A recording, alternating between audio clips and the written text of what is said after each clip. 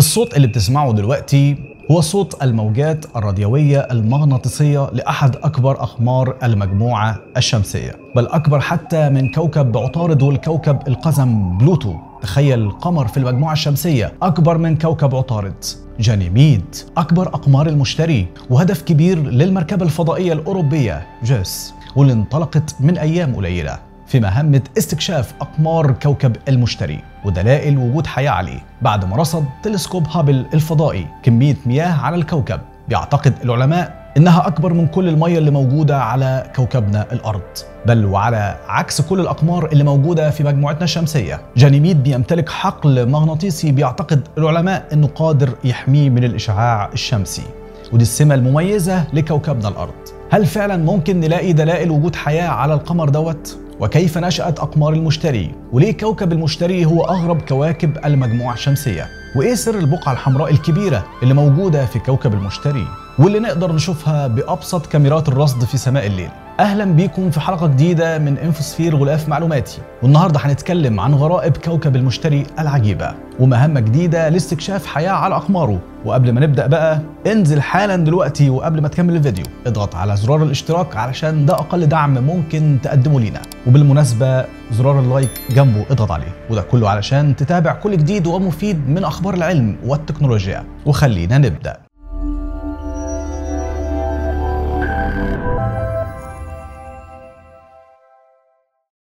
في يوم 14 إبريل 2023 يعني من أيام قليلة مركبة الفضاء جوس التابعة لوكالة الفضاء الأوروبية ال ESA تم إطلاقها من مركز جيانا الفرنسي كهدف أساسي لدراسة احتمالية وجود الحياة البدائية على ثلاث أقمار جليدية من ال 92 قمر الخاصين بكوكب المشتري واللي بيعتقد العلماء إن الثلاث أقمار دولت بيخفوا في داخلهم محيطات مائية جليدية بتدعم فرصة وجود كائنات حية دقيقة. فيا ترى هل ممكن فعلا يكون أصل الحياة كان في كوكب تاني واتنقل بفعل النيازك على سطح كوكبنا الغامض؟ بس قبل ما نتكلم على الرحلة عن أقمار المشتري وإمكانية وجود الحياة خارج كوكب الأرض لازم كبداية أخدك برحلة سريعة. ونرجع بالزمن مع بعض مليارات السنين علشان نشوف إيه اللي حصل. تكون المجموعة الشمسية. عمرك فكرت وسألت نفسك هي المجموعة الشمسية ديت اتكونت إزاي وإمتى؟ خليني أقول لك إن العلماء قدروا يحددوا زمن ميلاد المجموعة الشمسية. وده كان قبل 4.5 مليار سنة. وده وفقا للنموذج الأكثر قبولا لشرح كيفية ميلاد وتكون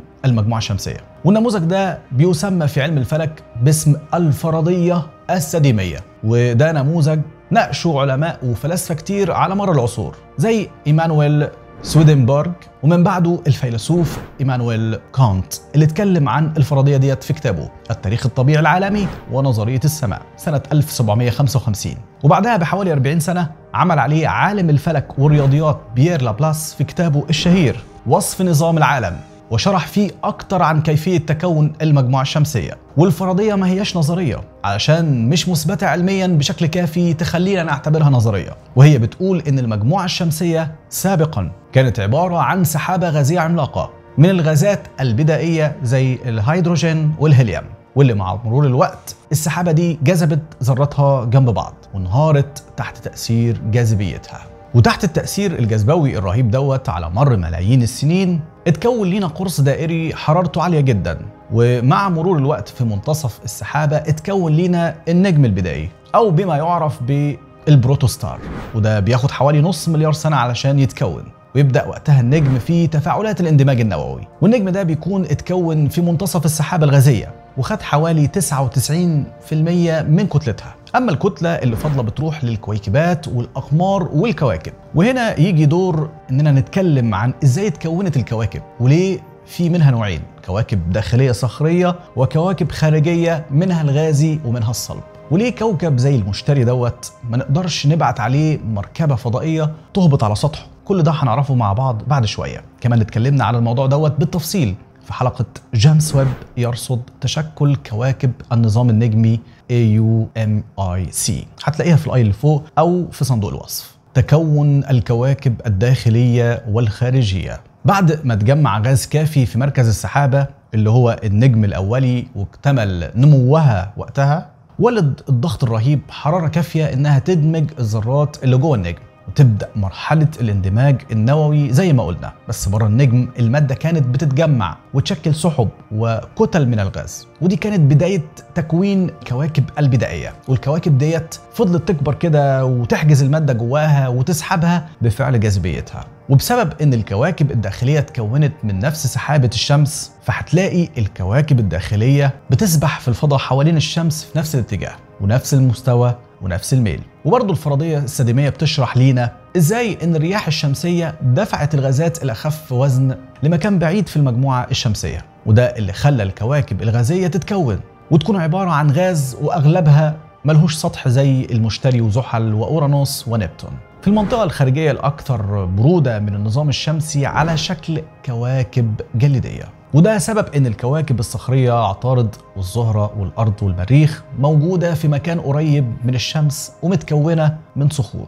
رصد كوكب المشتري. وهنا يجي دورنا علشان نتكلم عن أقدم وأكبر كوكب في المجموعة الشمسية واللي يعتبر بمثابة مكنسة كهربائية شمسية عملاقة وهو كوكب المشتري واللي اتنسب ليه اسمه بالمشتري بسبب إنه اشترى الحسن والجمال لنفسه. أما عن تسميته بجوبيتر فده نسبة لآلهة الرومان القديمة في أساطير الميثولوجيا واللي جوبيتر يعتبر إله البرق والرعد وكبير الآلهة الرومانية عندهم. وكان أول من رصد الكوكب دوت هو عالم الفلك العظيم جاليليو جاليلي سنة 1610 لما وجه تلسكوب البسيط ناحية السماء. لرصد الكوكب بأقماره الأربعة اللي كانوا واضحين وقتها على الرغم من إن الكوكب ده ليه أكتر من 92 قمر بيلف حواليه. والأربع أقمار اللي رصدهم جاليليو اتسموا على اسمه تيمنا بيه واتسموا بأقمار جاليليو تسمية الكوكب.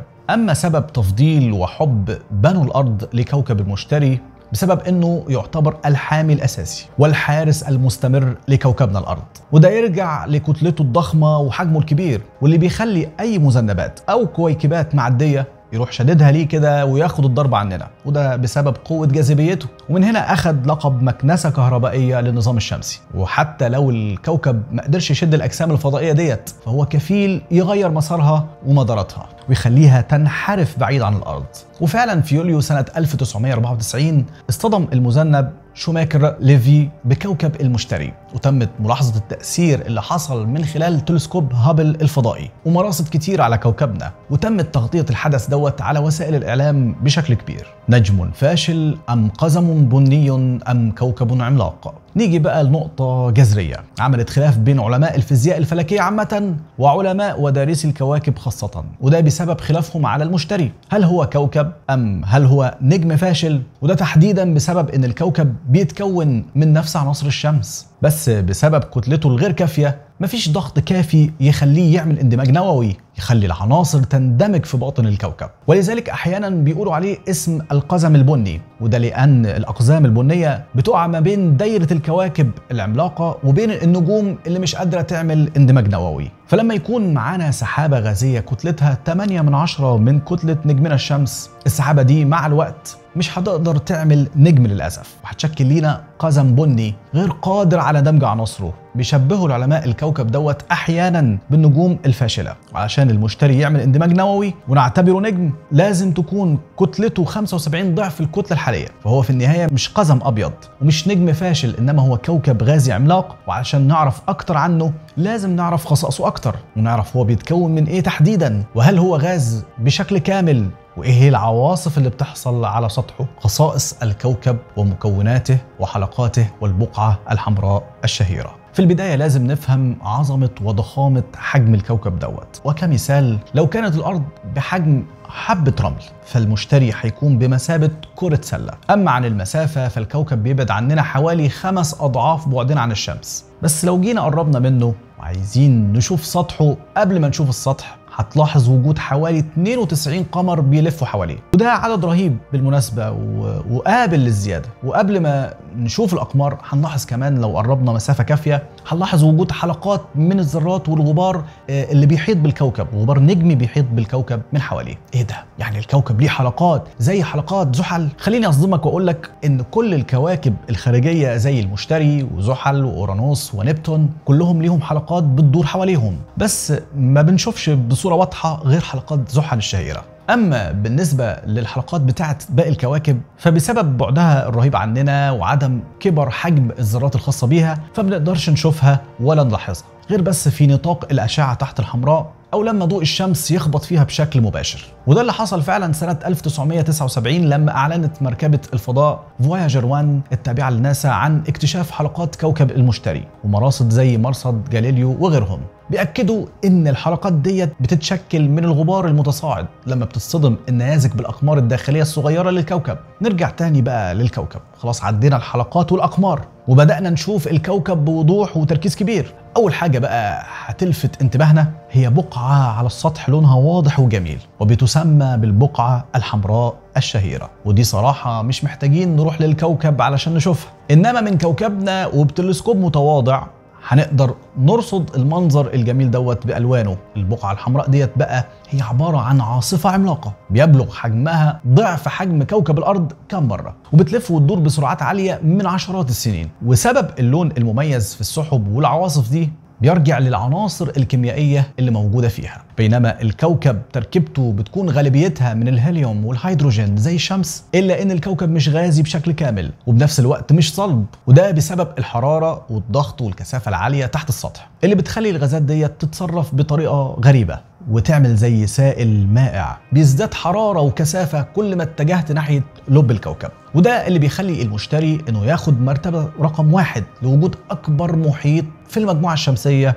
على سطحه بس مش محيط من المية إنما محيط من الهيدروجين السائل. وبسبب الكثافة والحرارة والضغط العالي اللي بيحصل للهيدروجين في باطن الكوكب دوت بيخلي إلكترونات الهيدروجين تنفصل عن الذرة ويخلي الهيدروجين سائل موصل. مع دوران الكوكب الرهيب والسريع حوالين نفسه فالعلماء بيعتقدوا إنه بيولد من الحركة ديت مجال مغناطيسي عظيم جدا للكوكب. أما بقى في نواة الكوكب فبسبب الحرارة والكثافة والضغط الرهيب فالعلماء مش قادرين يحددوا لسه هل النواة حالتها صلبة ولا غازية. الرحلات التاريخية للمشتري. وبسبب جمال وسر الكوكب دوت بالألغاز اللي موجود عليه ده كان سبب كفيل في إرسال رحلات متعددة الغرض علشان تلف حوالين الكوكب وترصد لينا التفاصيل اللي إحنا محتاجينها. وبالفعل على مدار تاريخ دراستنا للكوكب وأقماره تم إرسال أكتر من 10 مركبات فضائية. مركبتين بس واللي هم جاليليو وجونو داروا حوالين الكوكب واللي كانوا مهتمين بدراسة سطح الكوكب وكيفية تشكله وكمية المواد الكيميائية اللي موجودة عليه ودراسة حقله المغناطيسي. أما باقي الرحلات اللي ما دارتش حوالين الكوكب كانت زي بايونير 10 واللي اخذت بيانات عن مدى خطورة الحزام الإشعاعي للمشتري وبايونير 11 برضو إدتنا بيانات عن البقعة الحمراء العظيمة وصور قريبة للمناطق القطبية للمشتري. وساعدتنا مركبتين الفضاء فوايجر 1 2 في اكتشاف حلقات كوكب المشتري وكشفوا عن براكين كبريتية على القمر ايو الرحلة جوس. أما آخر رحلة للمشتري وأقماره كانت نقطة البداية في 14 أبريل سنة 2023 وكالة الفضاء الأوروبية أرسلت من أيام قليلة مركبة الفضاء جس واللي هتكون أول مركبة فضائية بتدور حوالين قمر غير قمر كوكب الأرض.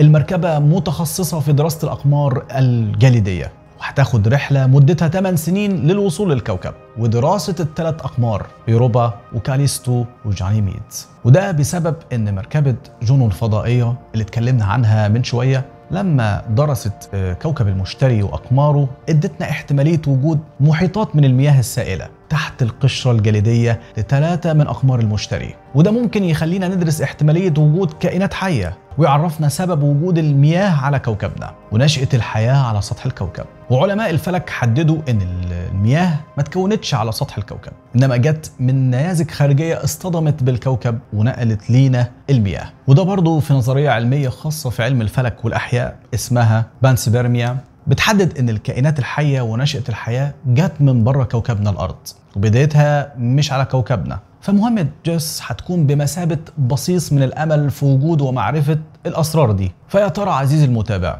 هل مركبة جيس هتخلينا نفهم الحياة والمية اتكونت إزاي؟ هل جت المية من بره الأرض ولا اتكونت زي نظريات جديدة بتتكلم عن تكون المياه داخل الأرض؟ هل هتكشف لينا عن احتمالية وجود كائنات حية على كواكب وأقمار المجموعة الشمسية؟ ولا تفتكر إحنا الوحيدين في كون قطره المرئي 93 مليار سنة ضوئية؟ لو عجبتكم الحلقة ما تنسوش اللايك الجميل وابقى اشتركوا في القناة وفعلوا زر الجرس. وانتظرونا في الحلقة الأسبوعية كل يوم جمعة إن شاء الله تمام الساعة التاسعة. مساء بتوقيت مكة المكرمة في إنفوسفير ولاف معلوماتي. تحياتي محمد فهمي سليم.